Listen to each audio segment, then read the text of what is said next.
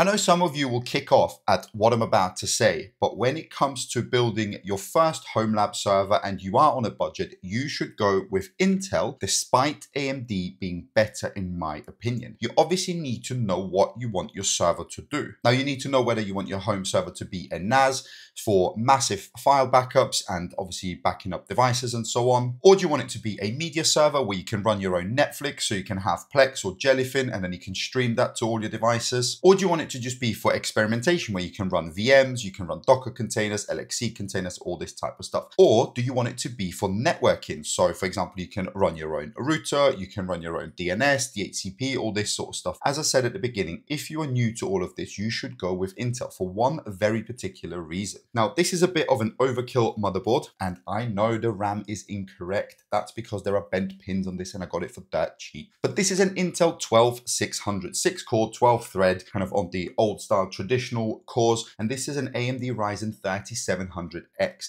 But the thing you've got to keep in mind when you're picking this is Intel CPUs like the 12600, 12600K, 12600T, any kind of of those variants, apart from the Fs, will have a graphics card built in. So they have an iGPU. Whereas if you pick an AMD CPU, such as this one, if it has an X, you will not get a graphics card. The only ones that have an integrated GPU are the G SKUs. So 3200G, 2200G, 5700G, all this sort of stuff. Straight away, you would have to sacrifice one of the slots here and spend extra on getting a graphics card. Whereas with Intel, you do not have to do that. You can use this slot for something else. So you could get a PCI adapter card and you could put, for example, four NVMEs in here if you want it to be a VM server or something like that. And you can populate this here and without having to have the extra power draw, a much beefier PSU, and obviously making use of the full 16X